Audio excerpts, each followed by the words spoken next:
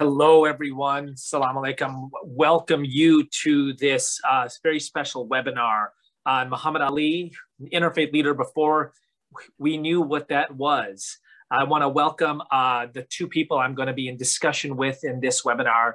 Uh, the first is Donna Auston, who is an anthropologist, a writer, a public intellectual, whose body of work focuses on race, ethnicity, gender, religion, social, and protest movements, media representation, and Islam in America. She's completing her dissertation at Rutgers, Rutgers University, which is an on an ethnography of Black Muslim activism and spiritual protest in the Black Lives Matter era.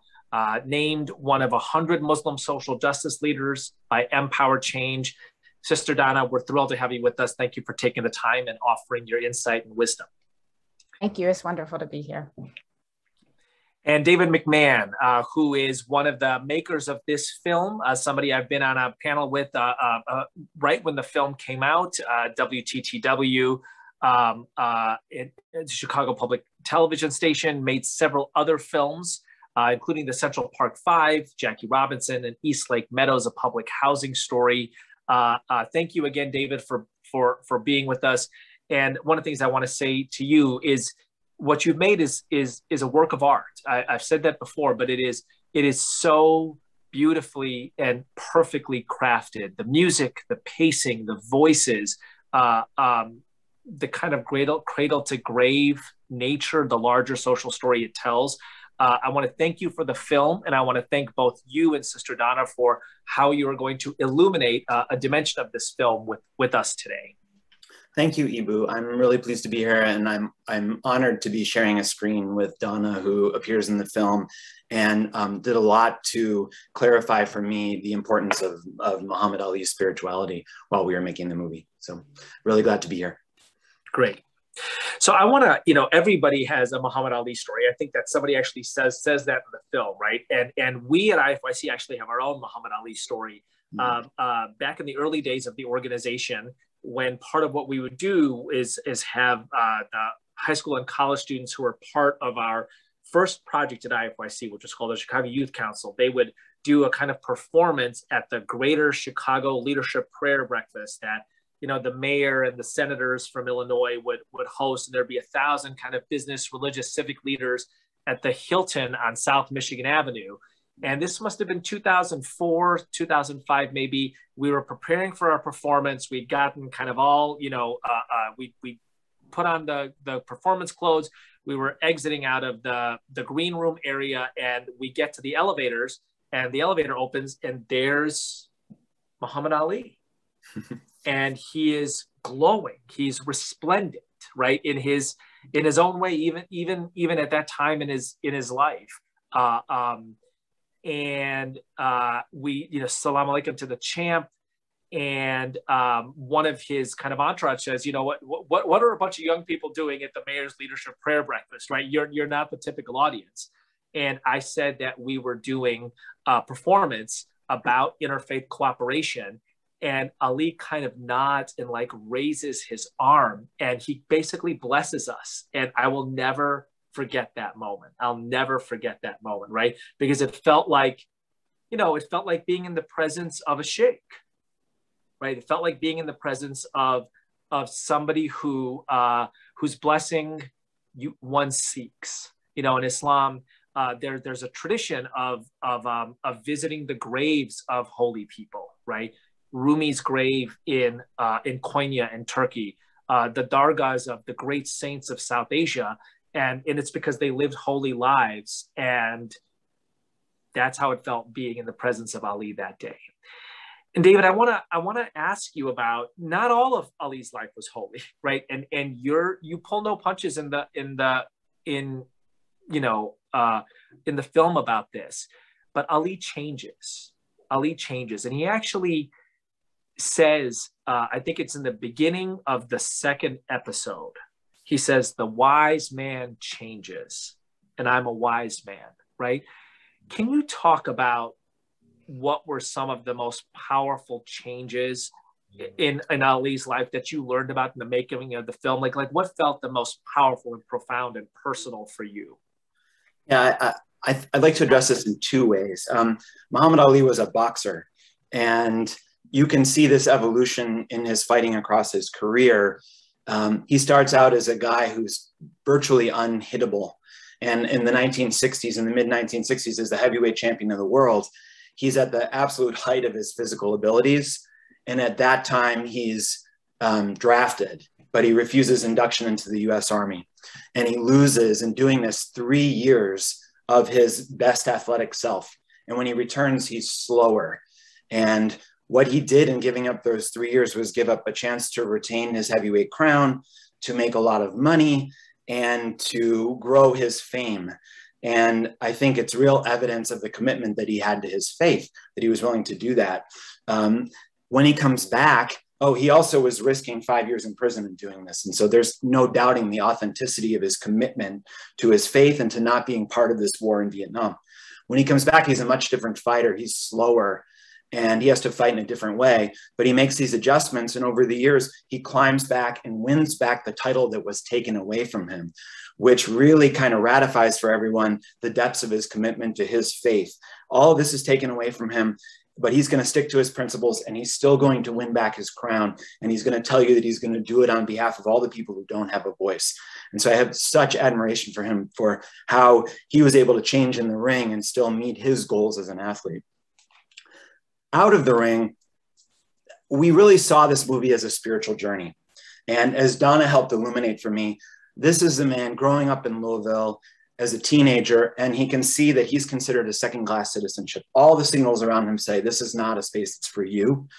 And I think when he discovers the Nation of Islam, it clarifies for him and helps make sense of this world for him. He has a place where he can be a part of a community. He has leaders and people who are pointing him in a new direction. He has a new commitment to this faith.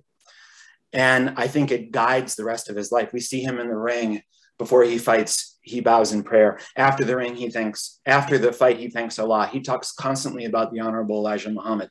He always says, I don't know how much he means this, but he always says, it's okay if I don't have another fight. That's not necessarily the purpose of why I'm here. But he does say it and he consistently says it. But when he joined the Nation of Islam, it was not necessarily for solely for spiritual reasons. It was also about making sense of this segregated world that he inhabited. And Elijah Muhammad had a particular trajectory for the Nation of Islam, but that meant one thing in the 60s and meant another thing in the, in the 70s. Muhammad Ali is often parroting what the Honorable Elijah Muhammad is saying in his public utterances. But when the Honorable Elijah Muhammad dies and his son Wallace takes the organization another direction, Muhammad comfortably goes in that direction too. It's a bigger, more open version of Islam, more mainstream that he's practicing. And he practices that across the rest of his life. And it's a big, open hearted mission that he's on. And it really, so you see this evolution from a guy who can sit before Bud Collins as a 20 something uh, boxer and say, I'm for George Wallace because he speaks truths about segregation to a guy who can travel the world in his retired days, suffering from Parkinson, and connect with everybody everywhere. And it's a big, open hearted version of his faith. And at the very end, he has the thoughtfulness as he's taking an accounting of his life to say, This is what I got wrong. And I'm okay addressing that. I'm okay. I'm going to atone for it now. I maybe wasn't always good to my to my wives. I didn't treat Malcolm X very well. I wish I had handled that differently. I was not kind to Joe Frazier. I wish I had handled that differently.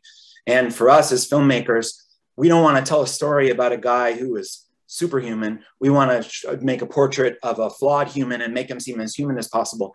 And we're grateful to him for pointing us to, at the ways in which he was flawed. But I think that's through his faith that he could come to terms with what mistakes he made and publicly speak about him. He's often an open book, willing to share who he is, which made him such a compelling subject.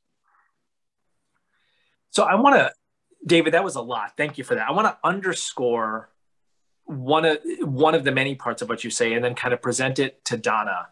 Um, so part of what I'm hearing you say, David, is it is because Ali is Muslim that it is, it, let me rephrase that. Islam gives Ali the strength to change, to change the kind of Muslim he is, to apologize for some of the things that some of the hurts and harms he causes. And there, there are plenty. And, and the film is open about that, right? Um, but there is there is a different kind of courage that Islam gives Ali, the human being, not the boxer, but the human being that allows him to face up to to to to past selves he wished had gotten more things right. I'm curious, Donna, what what what you might make of that. Yeah, I mean, I think for for um, me, both as a a person who studies religion professionally, um, but also as a, a, believing person, as a as a as someone who um, you know attempts to implement Islam in my own life. I think um, one of the things that I understand religion um, to be for is is it's it's religion is not sort of a handbook for already perfect people. I mean, you know, religion and spirituality is is is a is a guide to help you to approximate um, what you understand perfection to be or nearness to the divine to be, right? Um, and that means that, you know, I mean, I think it, it, it, sounds maybe a bit cliche, but sort of we all fall short. But, you know, but if you are somebody who takes your spiritual path seriously, right, the idea is that you're always trying to to get there. And I think that a lot of um, a lot of the experiences um, uh, that Muhammad Ali had in his life, being stripped from his title when he was, you know, certainly at the peak of his athletic prowess um, in many ways, and and all of those things actually. So taking that, taking the step in that direction um, and they were huge steps because, right, as David mentioned, and you know, as the history books tell us, right, you know, Ali was he sacrificed quite a bit in order to, um, in order to take this particular position, right, that was in line with his his spiritual beliefs, right, um, about you know making war on the innocents, particularly, um, and w- within the context of the Nation of Islam, um, it's not just random innocence, right, but but theology and cosmology and the way that the world is ordered um, and relationships to the divine are understood from the perspective of a racialized black person in north america right? And all of that and what and all of that that comes along with that right? So he's understanding his place in the world uh, through this lens of you know of of of the you know of being a black person born in segregated jim crow louisville right?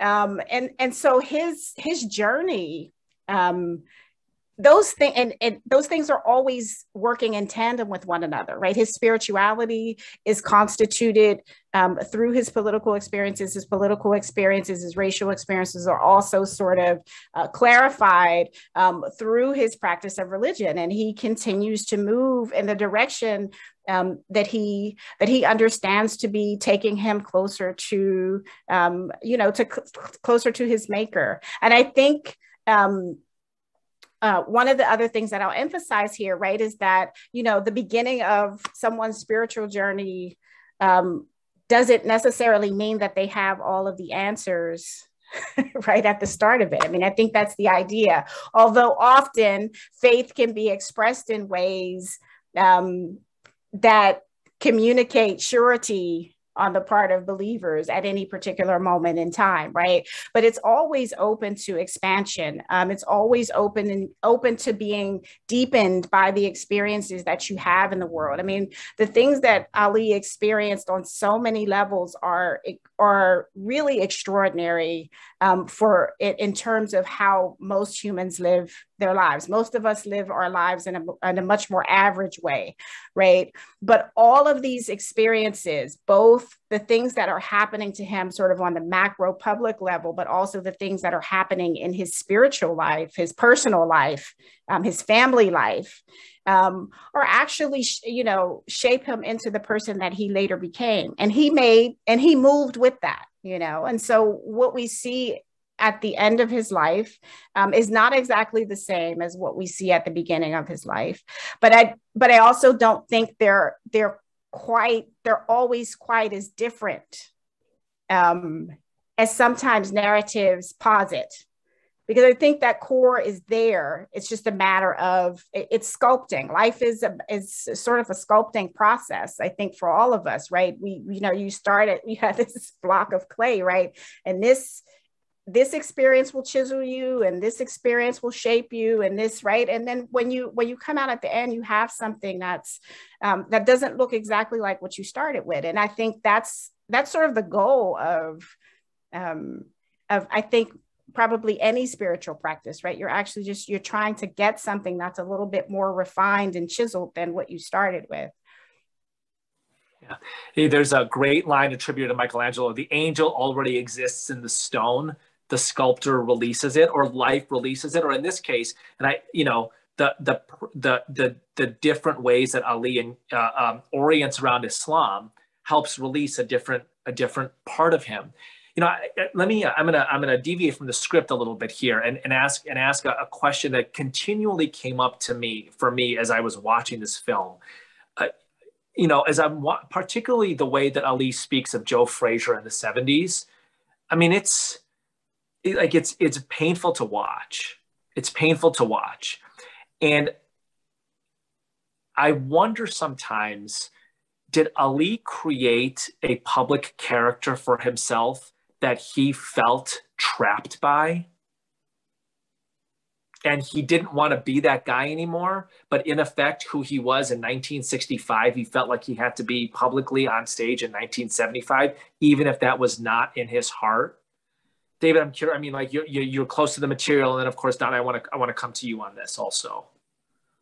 Yeah, I think the Ali the Showman is an authentic version of Ali. I think as a young man, he's before he's won the title, he's braggadocious. He's drawing from Gorgeous George, the professional wrestler, who's not a, pre, a, a pre, uh, excuse me, afraid to talk about how pretty he is. This is the, the late 1950s, and he's seeing that it's okay as a as a performer to be loathed as much as loved because it's still going to put butts in the seats. And so he does craft this kind of public showman persona. And part of that is a kind of um, pre-fight psychological advantage that he's seeking against his opponents. And so he'll identify something about them um, and make it a contest of that. It can be as big as a battle between Christianity and Islam, or it can be who's more authentically black. But that for him is about making the fight about something bigger than a fight. And I think he knows that it plays to his advantage because he psychs out his opponents and it draws more eyeballs. It makes the thing more of an event. He's very successful as that. The promoters would say he's better at promoting the fights than we are. Um, when it when it comes to Frazier, and I think right to the end of his career, he continues to do this. And by the 70s, I think he's struggling a little more to make the fights about something more than just being a prize fight. And I also think that a lot of the fighters sort of go along with it because, as Ernie Shavers told me, Ernie Shavers was a boxer that Muhammad fought in the late 70s. There was my life before I fought Muhammad Ali and my life after I thought, fought Muhammad Ali. I was much more of a significant figure after I fought him. You know, so a lot of them went along for the ride, but he used such dark and brutal language in talking about Joe Frazier. As Todd Boyd says in the movie, this is the ultimate conscious black guy, and he's using the language of white racists to frame Joe Frazier, a guy who was there to help him when he was out of the fight game by loaning him money and keeping in touch with him. And so it was brutal. But I, I think that it, it was a role that he felt comfortable playing. And it, Frazier was the one who got hurt by it the most, but he did play it right to the end. And he craved that public attention. He needed to connect with the people, and they needed to connect with him. And so it's an unfortunate chapter. Um, and he he does uh, um, admit to it being dark later in his life, but I, I, think he always thought Joe should know better. That this is just about playing up a fight and drawing eyeballs. And of course, Frazier didn't feel that way. And so I think later he he had to try and make peace with how he treated him. Um, but it does fit into how Ali, the public figure, and Clay, the public figure, um, always comported himself uh, before and around fights. Donna, if you want, if you have a comment on that, uh, by by all means. I think the only thing that I would add to that is that I think it's important to understand all of these things within the context of the totality and the the extent to which white racist ideology impacts all of us and that includes those of us who um, are the targets of it.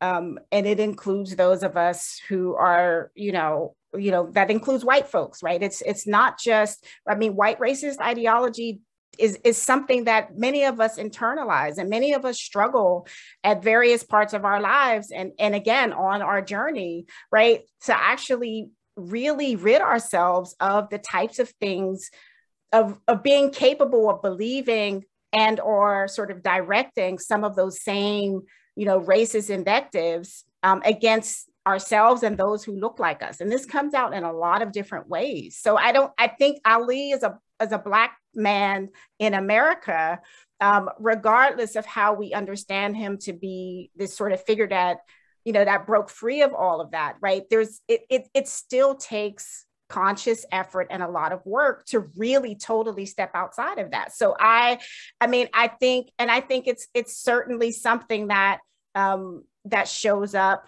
um in various places um, and it can be very insidious and very and very sneaky sometimes right? Even from people who we who we think quote unquote know, should know better right?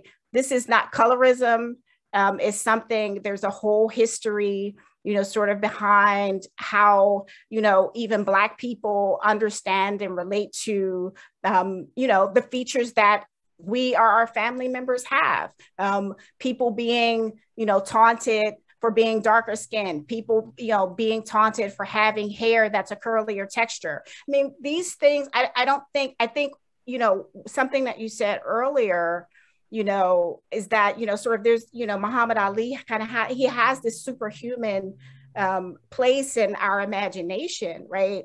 But he's also a person and he's, he's not, you know, he, he's not outside of all of those things that were a part of his growing up. And I think any um, pretty much any or very probably most of us would be able to admit to that. Most black people will tell you that they they've seen this they've witnessed it they've experienced it and many of us maybe have even engaged in that sort of banter particularly when you um, understand in addition to sort of being you know that you know uh, you know sort of a promotional tactic of Ali's you know this this tradition of playing the dozens right is very much a part of how you know uh, which is you know sort of a you know verbal sparring right you know um, taunts jokes um, you know, Kraken, whatever we call it, right? In our in our local vernacular is a very is very much a part of you know Black American oral culture, right? Um, and that can be um, you know, roasting can be can be pretty harsh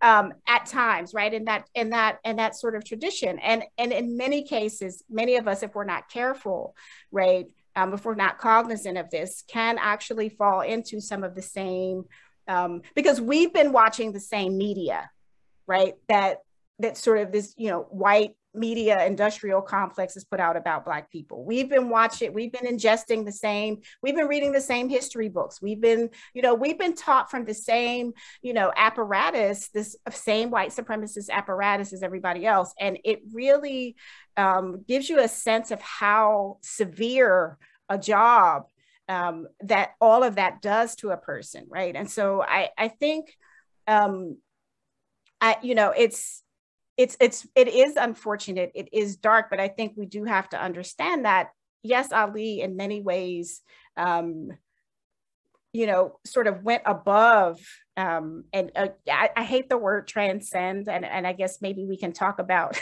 because i think this will come up later in some of the questions that i know we had planned i think often when we think about people who we revere you know we understand them to not be sort of uh, subject to all of the all of the mundane terrible you know oppressive difficult things that we all struggle with right? But ali is not outside of that. At the end of the day he was still a black man raised in the jim crow south. And that does a number on people it just it does a number and it's very difficult to get out of it yeah thank you that's that is powerfully said. So, you know, I remember when when Ali dies, uh, I think it's June 2016, right? And this is like right in the teeth of this racist Trump campaign. And I remember I'm on a flight back from DC or New York to Chicago, and I I like purchased the 495, you know, uh, viewing uh, the TV on the on the plane, and I watched I watched the funeral, and it's like a state funeral. That that's the only way I can describe it. It's it's on every channel. It's on ESPN. It's on NBC. It's like a state funeral. Bill Clinton speaks, you know, um, uh, and one of the final speakers is Billy Crystal, and he tells this story that I just found so deeply moving.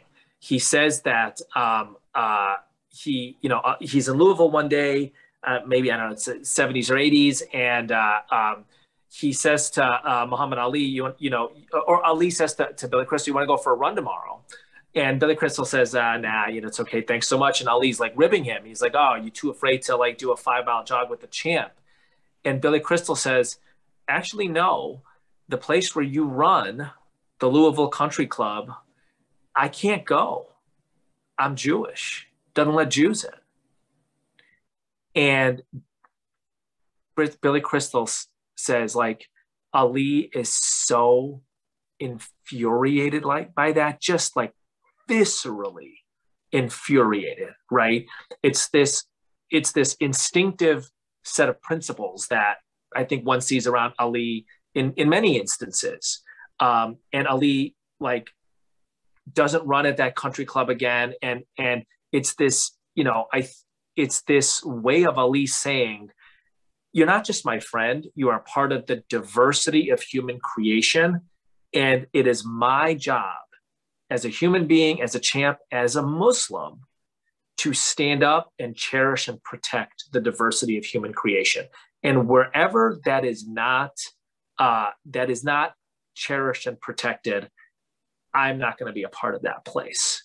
You know, and and I'm curious, uh, either David or Donna, are there other instances that like pop out to you of Ali being what we at IFYC would call an interfaith leader, which is basically somebody who takes inspiration from their own tradition, which is can be anything from secular humanism to Shia Islam or evangelical Christianity or Orthodox Judaism, to proactively partner with people from other traditions, including protecting them if protection is necessary and required.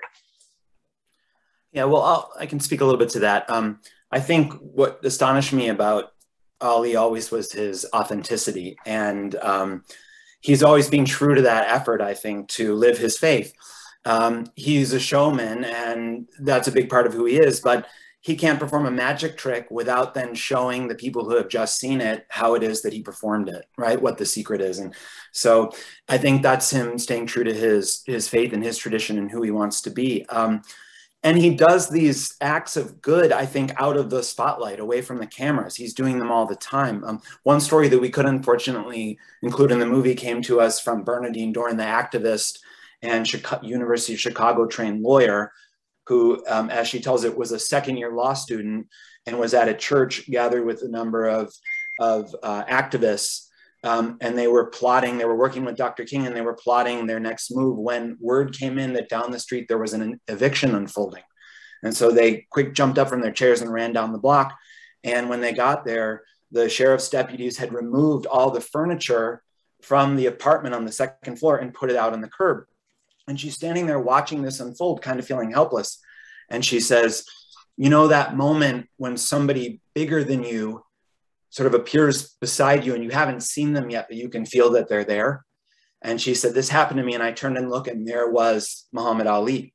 He had also heard what was happening. He had come from wherever he was, and he was sharply dressed, and he took his jacket off and handed it to her. And he walked over to the pile and picked up a coffee table or something and in the face of the sheriff deputies and the crowd gathered, walked it up the stairs and back into the apartment. And immediately everybody uh, jumped in and did the same. And within a few minutes, they had restored the apartment to what it was. And then he came back to her, as she described it in a kind of cinematic way, and took the jacket from her and disappeared. And so I think cameras on, cameras off, he was always trying to, you know, raise humanity where he could whether people's faith, whatever their skin color, whatever their traditions, he saw people as humans. And you spoke to this at the beginning. When he did this, he imprinted heavily on everybody he encountered. Everybody I met while making this movie who had a Muhammad Ali encounter told the, it with the detail as though it had happened the day before. They remembered every aspect of it. and it felt like a pivotal moment in their life. I don't want to overstate that, but it, there is a, some truth to how he was able to leave people with an impression, whether it was an action he took. And funny, he would always say, I'm not a leader. There's only one leader. It's the Honorable Elijah Muhammad. But then he would do things that would show people the way. And so I was amazed at no matter what corner of the earth he was in, he could act in a way or connect with people in a meaningful way that would leave them with a memory that they would share or build on for the rest of their lives. I would just say, um, just in addition to that, um, there's a couple of things. Um, one, um, I was invited to um, a conference on Islamophobia in, that was a couple of years ago. Um, and I was, it was in Louisville actually. And one of the things that um, that was remarkable. Um, uh, you know, of course, many people who were there um, had stories, um, but one of the other speakers at this particular conference, one of the things that he pointed out, he was a Louisville native, um, and he was talking. Um, part of his presentation was about the ways that uh, you know the, the incident where Muhammad Ali Jr. was actually stopped and detained at an airport um, profiled as a Muslim and detained. And, you know, this was sort of a, you know, talking about his presentation. And he was, and when he was, you know, telling the stories around that, I mean, one of the things that, um, you know, he was talking about was the ways that the city of Louisville and people who lived in Louisville um, loved Muhammad Ali so much. And one of the, one of the features of his, you know, of, of his presence there in the city, of course, you know, aside from, you know, everything that he'd done in his life, um, was that he, he would be found on a random corner on campus, um, you know, passing out Qurans and, and really acting as an ambassador for his faith to people, you know, just average folks like, you know, he's sitting by, you know, has a trunk full of literature and he's just sort of, you know, parked on campus and giving out Qurans to whoever happens to be passing by and, you know, engaging in conversation with them. And just sort of that, that human you know just everyday human contact was something that i think if you're if you're thinking about his interfaith legacy that's one of the um, one of the most powerful places to look. One of the other things that i would mention of course is his refusal um, to go to, to be deployed to vietnam at great personal cost um, to kill people who he saw as you know as as as his as his fellow human beings that didn't deserve to be murdered. I mean i think we underestimate and, and particularly in the way that this was articulated as um, a, a faith-based stand. I mean on the basis of his religiosity his spiritual path this was something that his conscience could not allow him to do. Um, at that time um, i don't know probably 99% of Americans had never heard of Muslims or Islam. They certainly hadn't heard of uh, the Nation of Islam, more than likely, unless they lived in Detroit or Chicago or someplace like that. Um, so, you know, but but actually articulating this set of principles that um, that are concerned with the preservation of human life, um, that are concerned with um, sort of, you know, at, you know, taking an active stand against violence and imperialism and militarism as a, as a, as a religious principle. Um, and actually framing that for people in a way that they could understand, um, you know, to people who had generally many of whom had no prior exposure to this, uh, this to this faith tradition or even to thinking about um, this type of action right? As i mean yes there are you know certainly conscious conscientious objectors of other faith traditions before him right? But actually being able because of who he was as an athlete and a public figure being able to actually articulate this on a worldwide scale um, i think is something uh, that is really a huge part of his interfaith legacy if we're talking about it in that way. I think for many people um, even though this was certainly something I, again that i think we we you know if you if you're a student of his life at all you understand was was connected deeply to his spiritual path. Um, he certainly articulated that. And the basis on which his case was ultimately dismissed was because the, the, the, the, legal clerk in his case, you know, really understood that this was not, you know, not quote unquote a political decision necessarily, right? Even though I don't think there's a neat separation between those two domains right? But this was actually rooted in um, rooted in his his spirituality. I think gay i think empowered right um, and expanded the realm of possibilities for what faith is capable of and what types of issues that faith is capable of speaking to right um, in the larger society. So i think uh, i think that's definitely one of the ways that he um, that he sort of uh, shines in that area yeah, that, that's powerful. Thank you for that, Donna. You know, one thing I think that's worth highlighting is uh, the United States, for better or worse, has a constitutional architecture that effectively privileges faith. Um, amongst identities, it privileges religious identity. And the Muhammad Ali Supreme Court case is a really powerful illustration of this. If Muhammad Ali had said, I don't want to go fight in Vietnam because I'm a Democrat, he doesn't win. He's got no case. If he says, I don't want to go fight in Vietnam because I'm in my 20s, doesn't have a case. He says, I don't want to go fight in Vietnam because I'm black, that's not a case. But I don't want to go fight in Vietnam because I'm Muslim. You can claim a conscientious objector status based on religious identity in America's constitutional framework. Uh, and I think it is worth noting that you know, the various dimensions of identity that are typically talked about. This is clearly not true of you, Donna and David, given this film. It's not true of you either, but it's true on campuses, it's true in companies, etc. Um, we talk a lot about race, gender, sexuality. These are really important things. But the American constitutional framework privileges religious identity. Uh, uh, and the Muhammad Ali doesn't go to Vietnam and doesn't and wins his case based on that what do you think we need to do to like elevate conversations about religious identity in the public discourse so that they're kind of equal to how important religious identity is the, in the constitutional framework? Well if i could just um, add one thing to what you were saying um, when muhammad ali refuses induction um, the, that war is still popular and it's also at a time when I think for those few people who did know about the Nation of Islam, um, they viewed it with fear and trepidation. And what you see over time is a kind of evolution where by the time that case is decided, the country has moved against the war and there's less fear around the Nation of Islam. I mean, that law clerk, he was seeking a way in which he could make sense of this case that invited the justices to see it as an issue of faith and a kind of authenticity that Muhammad Ali brought to that.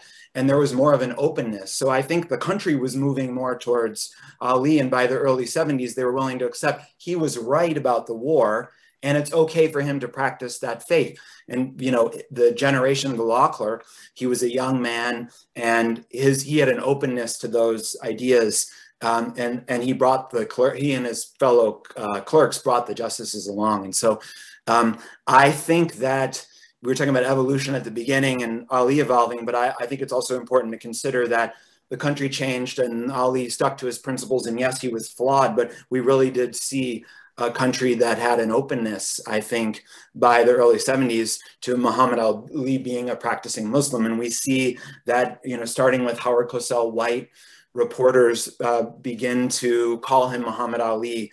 And slowly, um, it, over time, more and more go along with that. Whereas by the time that case is decided, many more uh, sportscasters and many more journalists are willing to call him Muhammad Ali. That wasn't true at the time when he refused induction. And so that's not quite the question you asked, but I think it's important to consider that um, popular opinion around this stuff um, can transform how the Supreme Court justices are interpreting the Constitution. Don, I want to I want to ask a version of that to you. So so thank you for that, David. Uh, um, so uh, Muhammad Ali dies uh, um, in June of 2016, and there is an event at the end of that summer which which uh, is also kind of a Muslim moment in America. It's when Khizr Khan at the Democratic National Convention, um, a Muslim American Gold Star father, brandishes a constitution on the stage of the Democratic National Convention and says, Mr. Trump, I bet you've never read this, but my son died in a war for this. And there's probably no more important public figure, at least in the Democrat in you know blue America, for the next six or eight weeks than Khizr Khan. And it strikes me Muhammad Ali is celebrated in part for his refusal to go to an unpopular war. Eric Holder says the most important thing Muhammad Ali did wasn't in the ring, it was his refusal to go to, to Vietnam, right? And Khizr Khan is celebrated for being a Gold Star father for his son's, his American Muslim son Humayun's decision to go to an unpopular war and not be conscripted, going voluntarily. And I watch this and I think to myself, however hateful Donald Trump is, and the man is hateful, and the movement is hateful, this is a sign of American openness to Islam and Muslims because we can be complex. We can be opposed to wars and we can go to wars and we can still be cultural figures. Curious what you think of that, Donna. There's a lot. um, what I what I can say is that um, I think what I what I'll start with at the outset is really to just highlight here um, that of course the American Muslim community um, if you can, or demographic, I should say, right? Because um, I think community implies more of a uniformness than there actually is, which is precisely the point I want to emphasize here, is that the American Muslim demographic is incredibly diverse along um, not only national, ethnic, racial, sectarian lines, but certainly in terms of political opinion, socioeconomic status, et cetera, et cetera, et cetera, right? So, so both of these things represent sort of the story of American Muslims at some point, right? Um, so I think that's one thing that that I'd like to uh, point out there. I think also, though, one of the things um, that this represents, because of course these two moments are, um, you know, separated by you know 40 years or so um, in terms of time, and you know a lot has changed since then, and not necessarily all for the better. Um, this is post 9 11. And, as, and actually, as a matter of fact, um, I think the day after Ali's funeral, or maybe two days later, um, you have the Pulse shooting in Florida, um, where a Muslim was accused of shooting up, you know, a, a, a gay club um, you know, in killing a number of people. And so this was this really interesting juxtaposition for me experientially is that you have this really public moment where Muslims are sort of celebrated in, in, you know, through Ali, right? You know, this revered American Muslim figure. And then the very next day, we're sort of back to Muslims are terrorists and profiling and, and surveillance and, and all of these other things that we're experiencing.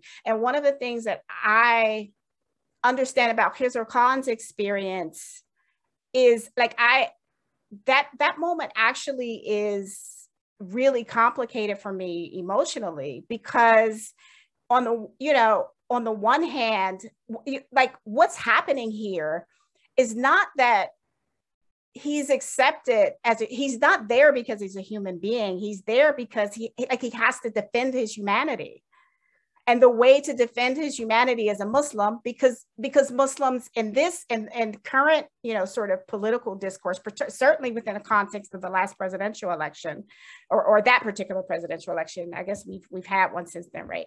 Um, within the context of that particular presidential election cycle, Muslims are really sort of taking center stage in a way like they hadn't before in terms of uh, that sphere of electoral politics, which is that we we are this securitized popular like we're only understood within the context of, of national security. Like we're not actually people.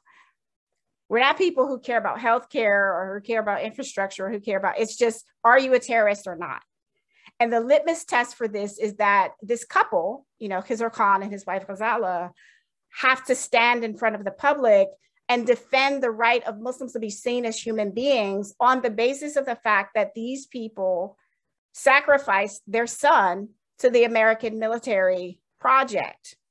Now, I'm not necessarily, you know, this is not really a conversation per se about whether or not that's the right choice or not, but it, but the fact that this is what he has to offer up, what this family has to offer up in order to sort of act as a foil against bigotry and Islamophobia emanating from the, the pool of presidential candidates is, is, is really, is really problematic right? And this is so, you know, so, and this is not an invective against uh, Khizr and Ghazala Khan at all, but it's an indictment of, it's an indictment of the American political machine that under, that still racializes people, that still, you know, that still oppresses people on the basis of social identity, race, and religion, right? Being two of the most powerful vectors along which this happens, right? Because the,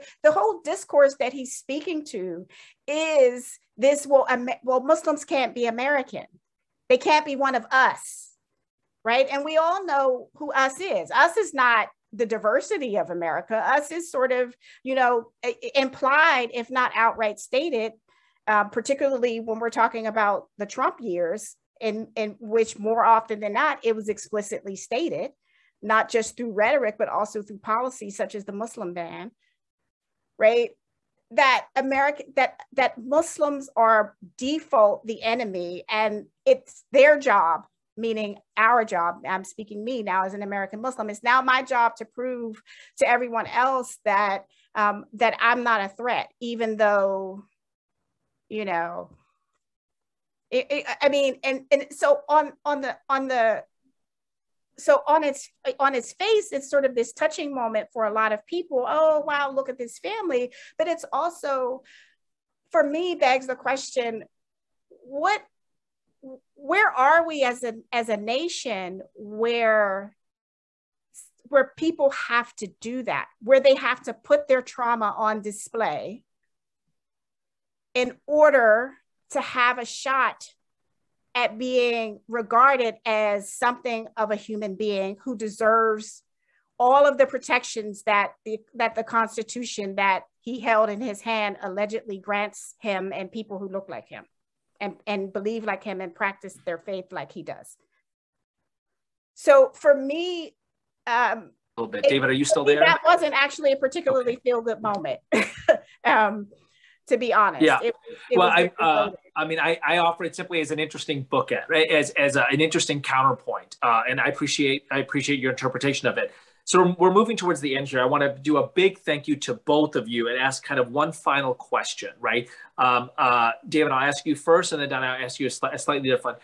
David, in 50 years, how will Muhammad Ali be be remembered? And then Donna, the question I have for you is, is Muhammad Ali is a is a part of a powerful era of black activism, right? And it's it's the Nation of Islam, it's Black Pride, it's Black Power, it's civil rights, and the beautiful movie. I mean, a, and a terrific ac- accompanying movie to watch along alongside David's film and your film also, Don, as you appear in it, is One Night in Miami. The conversation between Sam Cooke, Muhammad Ali, uh, um, Jim Brown, and uh, the fourth figure who's and Malcolm X, right? Of course, and Malcolm X. Uh, um, like that black, that powerful moment in black activism, Muhammad Ali plays a central role. Donna, the, the question I want to ask you in going out is, what's the role that the memory of Muhammad Ali plays in today's world of, of black activism? So David, you first, how are you going to remember Muhammad Ali in 50 years? Donna, uh, um, closing out with, with your comments on, on what do you think the memory of Muhammad Ali, the role it plays in, in today's worlds of Black activism? And we're going to need about 90 seconds each. So we're going to be super disciplined here. Sure. Um, people asked when we started making this movie, why another film about Muhammad Ali? There are so many. And I would say Muhammad Ali is a subject that we should continue telling his story indefinitely. And anyone who feels like they should tell it should in any way they feel like they should tell it. And so in 50 years, I think that Muhammad Ali, there will be new scholarship, there will be different perspective, there will be footage we've never seen before, there will be new photographs, there will be something happening in the world where it's important to hold him up as a mirror so we can have him reflected back at us that help us make sense of the times we're in. So there, Muhammad Ali in 50 years will it will still be timely to tell his story. Will there will still be new things to learn about him, and he will still have fresh things to say about the moment that we're in. Anyone contain multitudes. It was him. Thank you so much, David. Donna, take us out.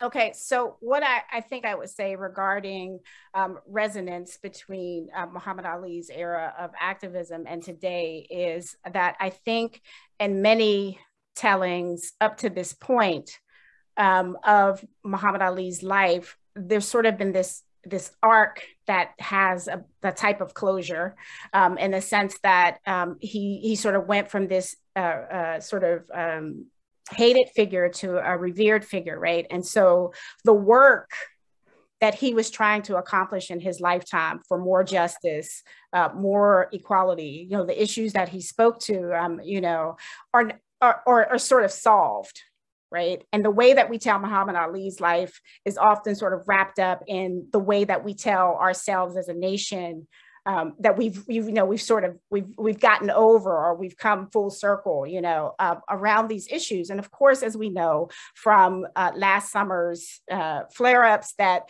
the work and the issues that Muhammad Ali spoke to are far from solved. They're far from resolved. Um, and I am hopeful when I see um, athletes such as Colin Kaepernick, especially um, picking up what I understand to be Muhammad Ali's central mission. I think in many ways, yes, he changed. I think, yes, he, he moved on some things, but I don't think he was ever unconcerned with justice and liberation for Black people and all, and, and all human beings by extension. Um, and so what I would like to see is more of that, right?